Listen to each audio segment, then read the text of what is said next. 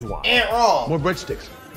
No, bro. His performance was horrible. Look at This this, is y'all. my unlimited basket. They need their unlimited baskets. I'm sorry, sir. It's one per table. But that's a limit. Fuck y'all! God damn! God damn! God damn! Wake up, bird brain. We're here to shut you down.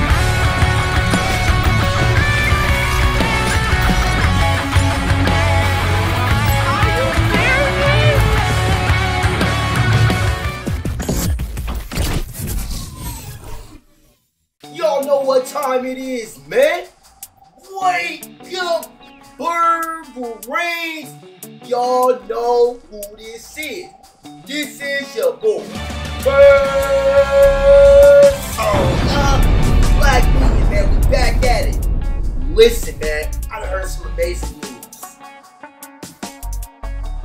They finally got rid of this bullshit. Yeah. Woo! I gotta pull out the Ric Flair for this one. Woo! Woo! Woo! Woo! Woo! Woo!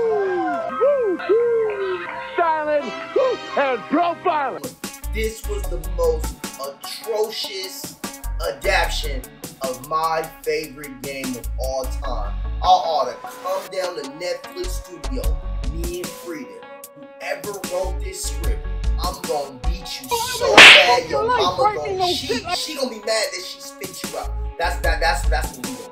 Cause this was horrible. And thank God Netflix you finally got rid of this damn show.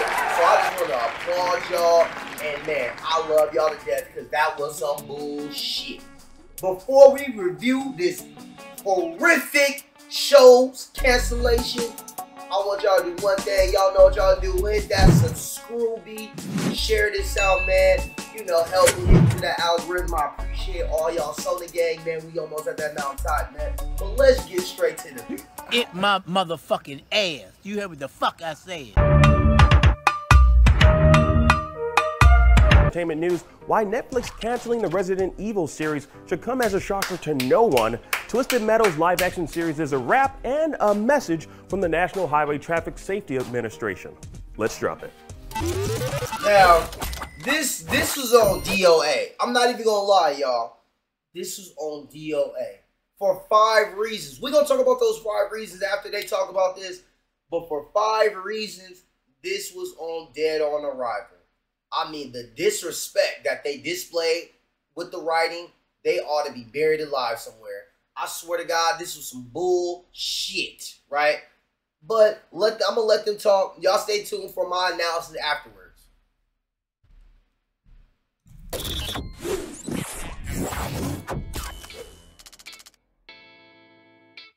Yeah, the fix. Yeah, y'all need to fix that. Presented by NHTSA.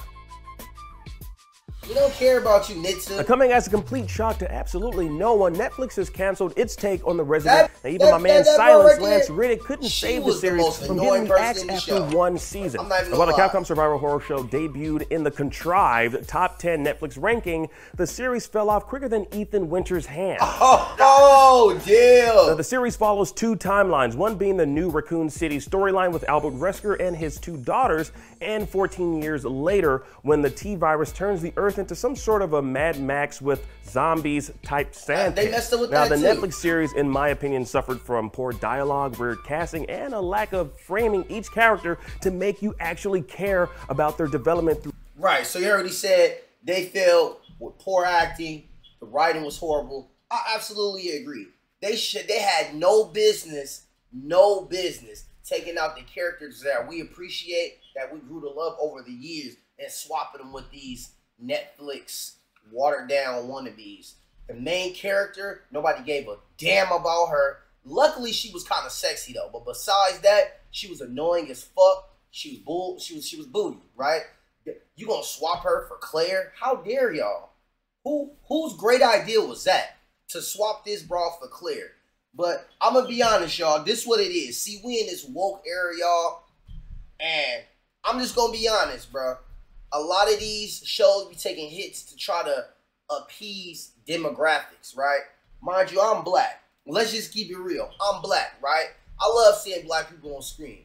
But you're not gonna swap out already great characters for quote unquote people of color And it's like we don't give a flying fuck about that, bruh. But let's continue, bruh. throughout the storyline. Now, the only saving grace was, in fact, Lance Reddick's performance, which sadly wasn't enough to save the series from cancellation, let alone wrong. warrant a binge watch. And wrong. More breadsticks. Looks No, bro. you still bruh. have a few His left. performance was horrible. Look at This this, is y'all. my unlimited basket. They need their unlimited baskets. I'm sorry, sir. It's one per table. But that's a limit. Fuck y'all! God damn! God damn! God damn! For you, Wesker, but for. Now that was for us- horrible. No, nobody knows Wesker to be this family man complaining about damn honey buns. I mean, uh, cheese sticks. That was so horrible. That's like taking a live action show of Dragon Ball Z, and you take Vegeta, and instead of Vegeta being this proud, blunt, straight to the point prince from a dying, from a dead planet, you make this dude walking around twerking, and he got beads in his hair, and he like talking with a high pitched voice.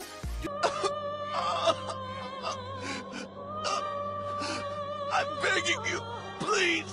Do you think people is gonna have a problem with that? And no more breadsticks for you. Now, the show was stale and honestly didn't do a great job of adapting the source material.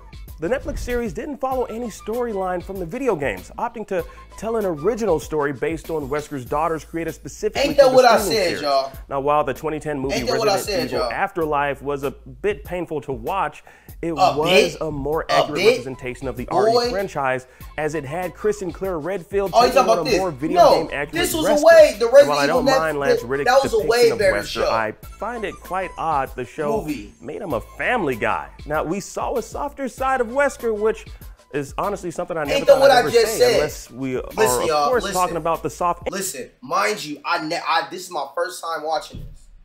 Mind you, I never, I promise you, I did not watch this before I reacted. I just saw what it was and I jumped straight on. And he said exactly what I'm saying. Y'all fucked up Wesker, made him some weird ass, not weird, but some nice guy. Y'all took out the characters that we like. It was just painful to watch, like he said, bro. Like he said, it was man. entrails of Wesker after Chris took him out in RE5. Right. Look at that. That's what we want to see. That's exactly where the Netflix series should end up in the fiery pits of the streaming service. I'm sorry, I'm just telling it like it is right now, but I want to know what your thoughts are on Netflix's Resident Evil series. Did you like it? I'ma tell it? you. What do you think they got I'ma right? tell you. Now, honestly, I gotta admit this: the zombies and some of the iconic infected creatures were done pretty well. Now, let me know what you think down below. No, it was. Right now. All right. All right, y'all. So y'all heard what he had to say on that. And for the most part, I absolutely agree with his breakdown, his analysis. Now, Black Neegan, he gonna give y'all five ways that this show failed. And five ways that they could have saved this show. Cause I really feel like if certain things were done correctly, this show would have been great. Right? So let's start with number one. Why did y'all change the way Wesker was? That is my biggest problem with the show. Wesker was somebody that you just feared when you looked at him. From the very beginning, you saw them eyes, you saw that slick back hair. He kind of reminded you of Negan, right? But a blind Negan that wasn't as charming. That's all he was. He was a Negan that wasn't charming. He was a Negan that was like, look, with powers that just beat the fuck out of you, right? They swapped him for a brother. Okay, I'm not mad at that. You want to swap him for a brother? Let's go. Bring the brother out. Tyrone! What's up, Tyrone? We need you. Alright, now we got the brother. But why did you change the way he was, though? Nobody cared to see him as a damn family man. I really didn't. It was very cringy. Number two. Number two. Why y'all just didn't expand from the village storyline? The village had an amazing storyline. They all honestly they could have did some other shit with the Resident Evil Village storyline. For instance, for instance, on Resident Evil Village, they could have made where the Megamycete, Megamycite spores, the, the mold that mutate everybody, why not make the mutation has spread, you know, some one of the uh the uh, residents of the castle, whether it was uh, Big Booty D, you know what I'm saying? We would love to see her again. Somebody escaped and the mold spread to somebody else. And then it could have been came to America. And then, you know, uh, uh, it turned, it hit a community. Man, some around those lines, bro. They could have really did something with that, but no, they tried to do some whack ass new shit, and it just was not cool, bro. Number three, this another one. Why did y'all not keep the same heroes we know and love, like Claire, like Leon, like Dottie Ada Wong? What is wrong with y'all? Like they dropped the ball with that, bro. Y'all really dropped the ball with that, bro. We miss. We would have loved to see Dottie Ada Wong move Q Cell, Claire Q Cell. You feel me? But y'all really dropped the ball. Y'all tried to make these new people, and they was not likable, bro. Number four, bro. Nobody cared about the villains, bro. Nobody. Evelyn Marcus, she was terrible.